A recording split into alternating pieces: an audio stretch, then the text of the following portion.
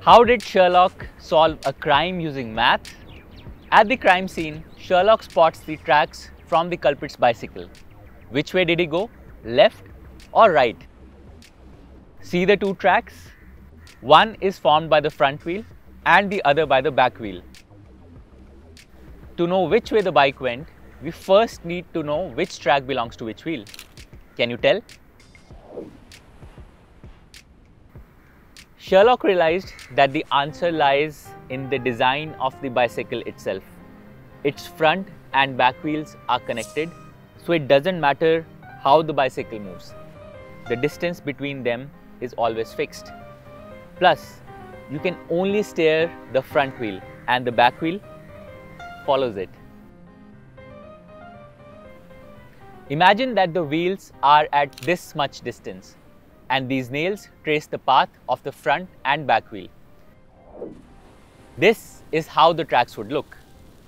I'm only moving the front nail, but since the back one is attached, it follows while maintaining a fixed distance. If I make big waves with the front nail, the back nail makes similar waves, but smaller in size. The same is true for a bicycle. You can try making any random path the one with the larger variations would belong to the front wheel. So that's how Sherlock knew which track belonged to which wheel. But how did he figure the direction?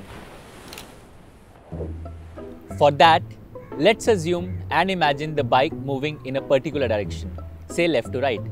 This is how it will move.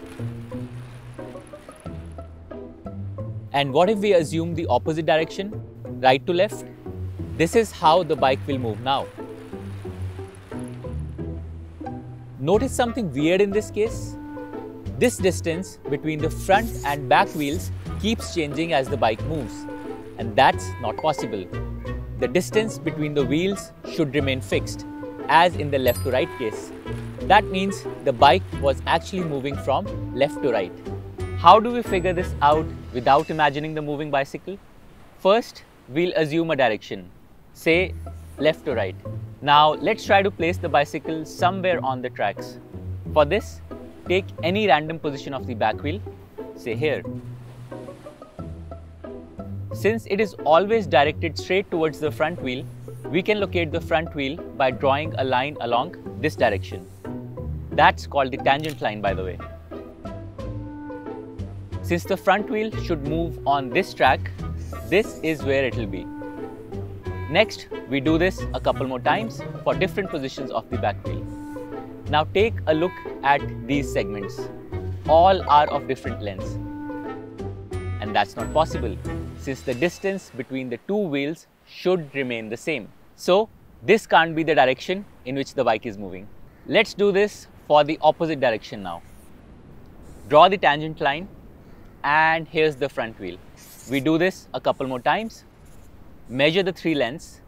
This time they are all the same as they should be. So this is the direction in which the bike was moving. And that's how Sherlock did it. Pretty smart. Time for you to help Sherlock. Let us know in the comments which track belongs to which wheel and did the cycle go left or right.